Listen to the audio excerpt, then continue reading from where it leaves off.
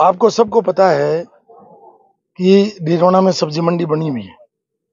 लेकिन पिछले पाँच वर्षों में उस सब्ज़ी मंडी का आवंटन नहीं हुआ। और इसके कारण से जो सब्ज़ी के ठेला विक्रेता हैं, जो गरीब हैं, जो ज़मीन से जुड़े हुए हैं, अपनी रोजी रोटी चौबीस घंटे में जो उनको आवश्यकता है, उसको दिन भर कमाते हैं, उसे अपने घर को चलाते हैं। अब उन लोगों के लिए एक पुलिस वाला एक ऑर्डर निकाल देता है, कल से यहाँ ठेला नहीं लगाओगे। भाई उसको विकल्प दीजिए आप। उसको विकल्प दीजिए। और पहले नगर पालिका की डेढ़ साल से मीटिंग नहीं हो रही है। कांग्रेस का यहाँ बोर्ड है। कांग्रेस की यहाँ मेजोरिटी है। और वो न तो मीटिंग करते हैं, न मीटिंग करने देते हैं। इन गरीब लोगों के खिलाफ पड़े हुए हैं। प्रशासन है, वो तो इनके खिलाफ। नगर परिषद है तो वो इनके खिलाफ। प्रशासन के अन्य अधिकारी, पुलिस के हैं, वो इनके खिलाफ।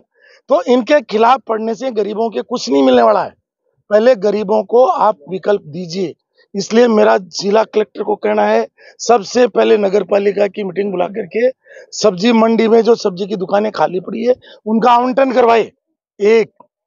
दूसरा, ये जो पिछली बार प्रभाती लाल जी जब एडीएम थे, उन्होंने इन गरीब लोगों को जो हमारे थोक विक्रेता था, उनको मंडी में शिफ्ट कर दिया। अब एकदम ऑर्डर निकाल दिया कि सात दिन में खाली करो। वे जाएँगे कहाँ? और निर्मणा की जनता सब्ज़ी कहाँ से खाएगी? फल कहाँ से लेगी? जब ये इनकी सब दुकानें ही उठा दोगे, ठेले ही उठा दोगे तो डीडोना की जनता कहाँ जाएगी? तो मैं जनप्रतिनिधि होते ये कह रहा हूँ कि डीडोना की जनता के बारे में सोचें डीडोना के गरीबों के बारे में सोचें और आम उपभोक्ता के बारे में सोचें। इसलिए इनका समन्वित समाधान निकाले। और अभी मैंने मंडी सचिव से मीटिंग करी है, सबकी, इनकी सब्ज़ी वालों की भी बातें सुनी है।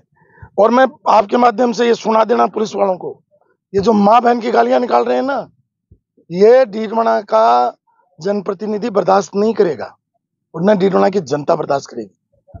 आपके पास कानून में अधिकार है, उस कानून के दायरे में रहिए भाषा पर संयम रखिए, और भ्रष्टाचार पर रोक करिए।